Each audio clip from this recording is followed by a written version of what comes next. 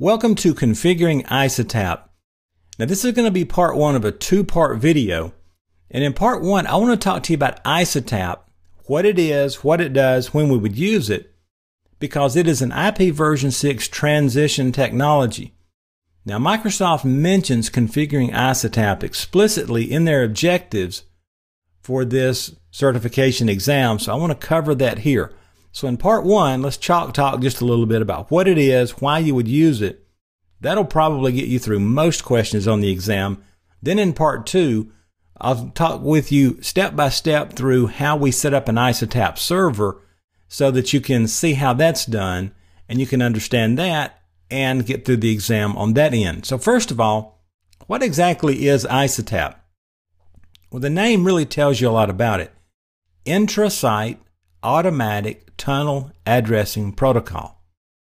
Now, this is, I've already mentioned, an IP version 6 transition technology.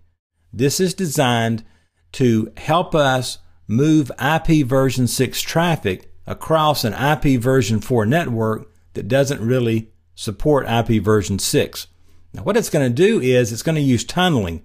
The IP version 6 packets are going to be encapsulated within an IP version 4 header. And so the router thinks that it's looking at IP version 4 and goes across the IP4 network. Then when it gets to the other end, it's broken out and there's your IP version 6. Now ISATAP is used. Make sure you get this one. ISATAP is used within a site or within an intranet. ISATAP is not used for communications on the public internet. Now, if you can get that one aspect of it down, you can probably pick your way through most questions or concerns, both on the exam and the real world about ISATAP. This is only designed for private, you know, sites, intranets, those sort of things. You don't use ISATAP on the public internet. Now, if this whole concept of ISATAP is new to you, go out and do a little outside reading on IP version 6 and read about ISATAP. Now, let me tell you one thing before I go on.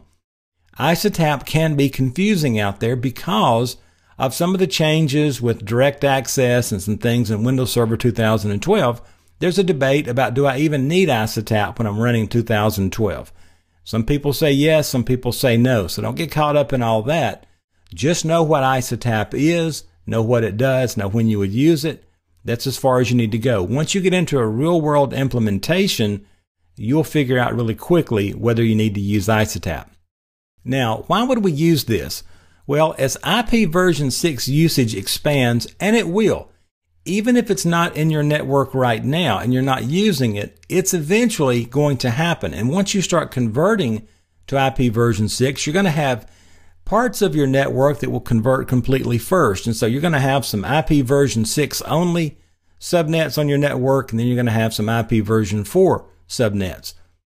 Well, ISATAP will allow hosts on those IP version 4 only networks to communicate with hosts on the IP version 6 only network.